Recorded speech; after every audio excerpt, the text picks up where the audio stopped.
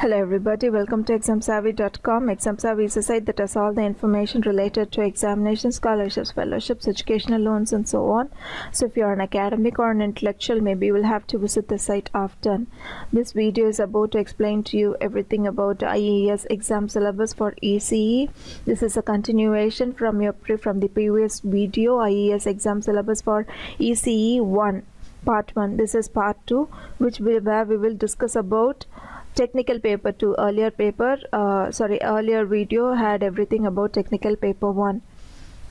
technical paper 2 analog electric circuits transistor biasing and destabilization small signal analysis power amplifiers frequency response wide banding techniques feedback amplifiers tuned amplifiers oscillators rectifiers and power supplies op amp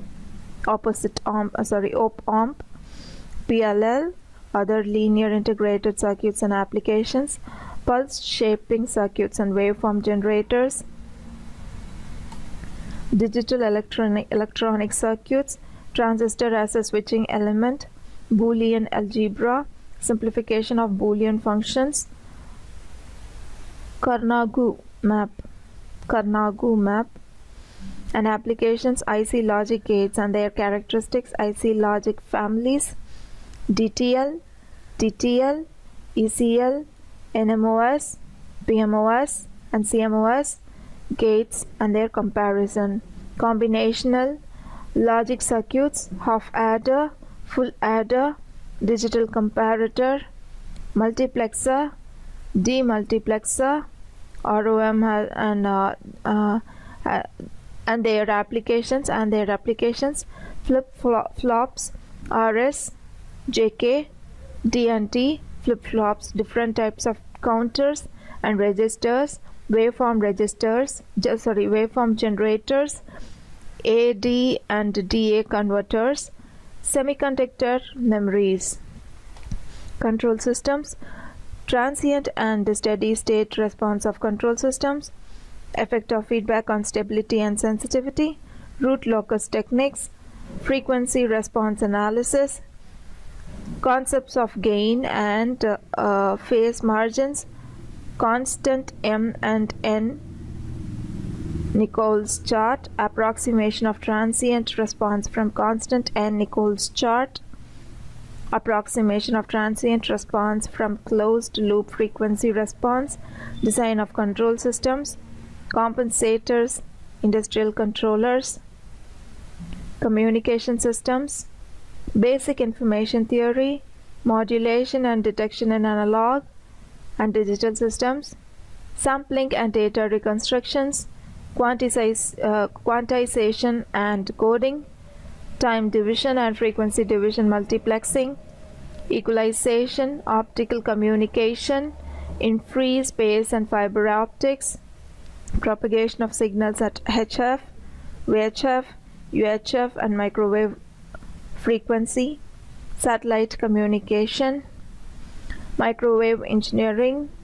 microwave tubes and solid states devices, microwave generation and amplifiers, waveguides and other uh, microwave components and circuits, microstrip circuits, microwave antennas, microwave measurements, masers, lasers, microwave propagation, microwave communication systems, terrestrials, terrestrial and satellite based. Computer engineering, number systems, date representation, programming, elements of a high level programming language, Pascal, C, use of basic data structures, fundamentals of computer architecture, processor design, control unit design, memory organization, I.O. system organization, microprocessors, architecture and instruction set of microprocessors 8085 and 8086, assembly language programming, microprocessor based system design, typical examples, personal computers and their typical uses.